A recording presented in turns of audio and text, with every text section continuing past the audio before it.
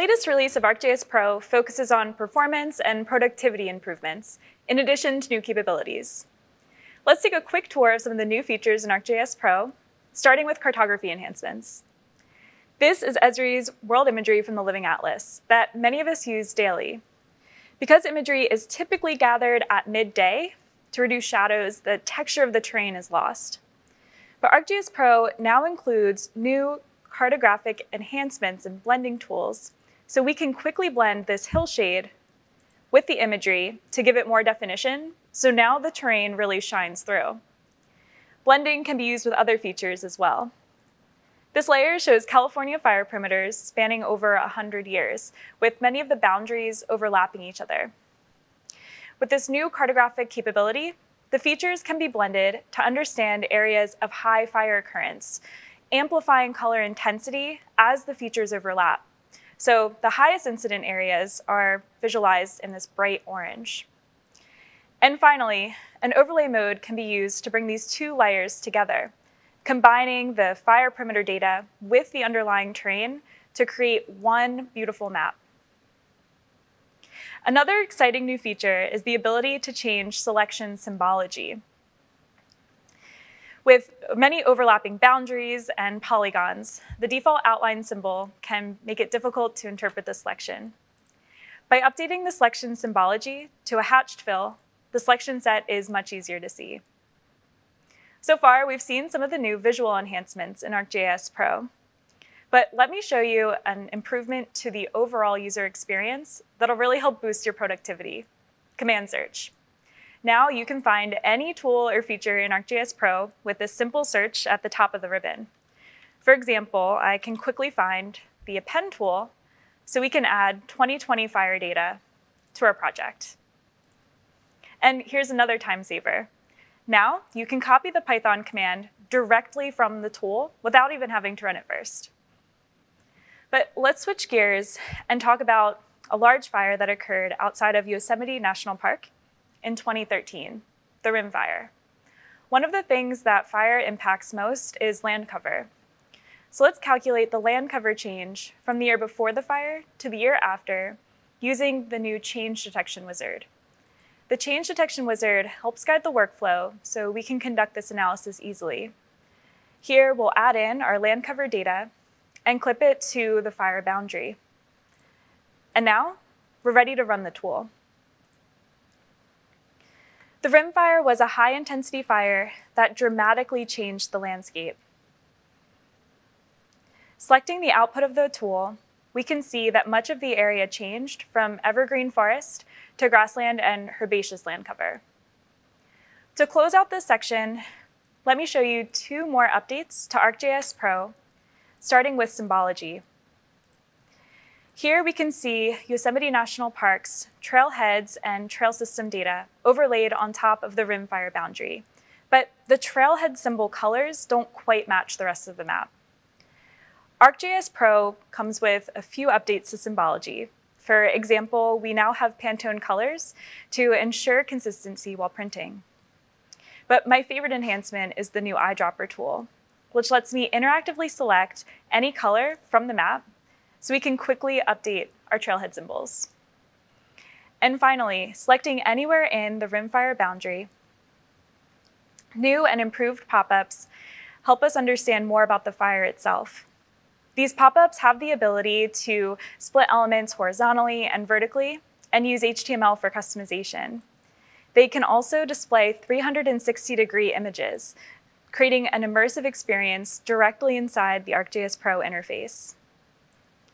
This was a quick tour of some of the new visualization and productivity enhancements in ArcGIS Pro.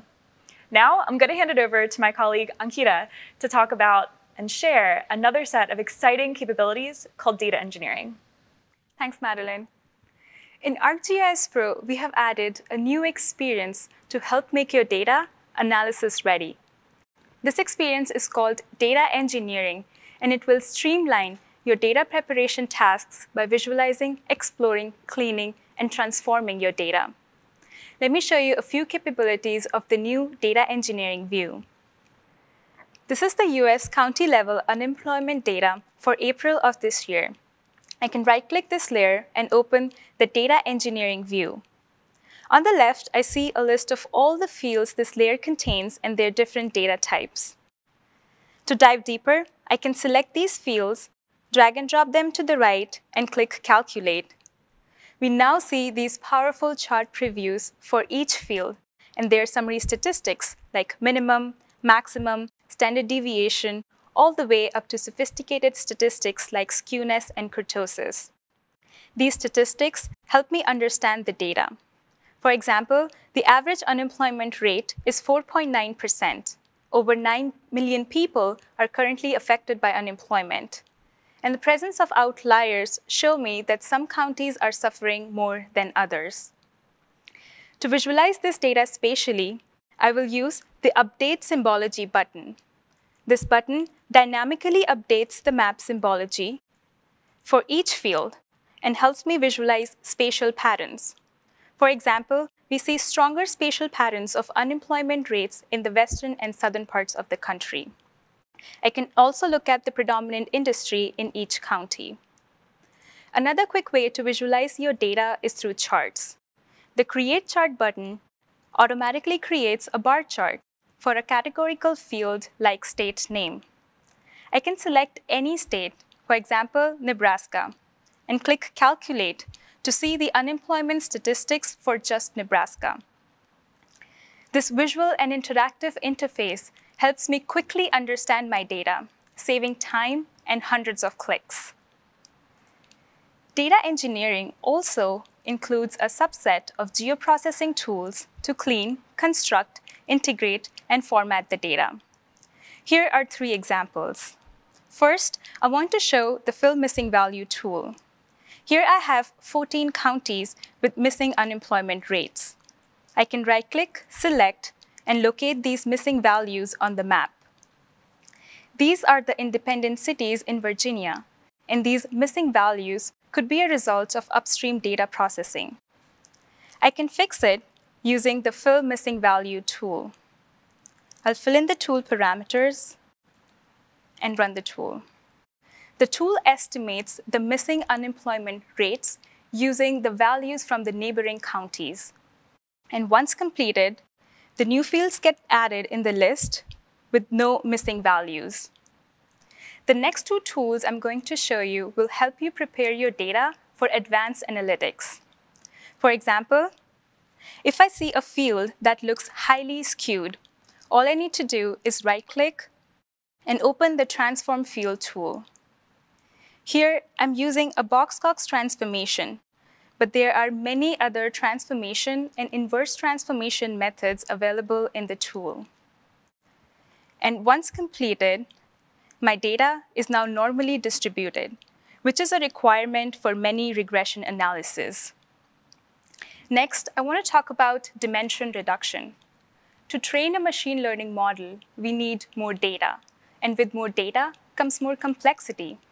For example, I have these 15 different age variables. I can select them and create a scatterplot matrix to find relationships between them. Here I see that some of my variables are highly correlated, which can impact modeling and prediction. I can fix it using the new dimension reduction tool. I'll reduce these 15 fields into fewer components whilst maintaining data variability. Using principal com component analysis for dimension reduction is a very common data engineering step, and this is now built into the software.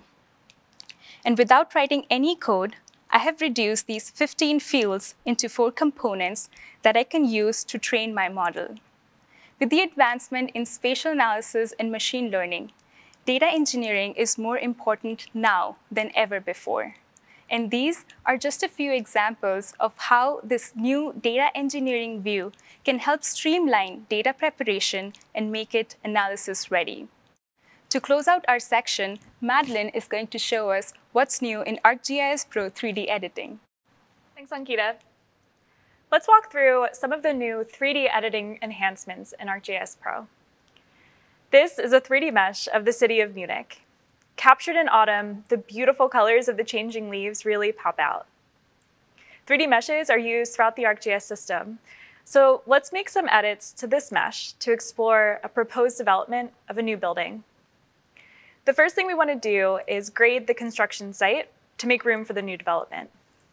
Selecting the mesh layer, we'll add a mesh modification to replace an area of the mesh using an underlying 3D polygon.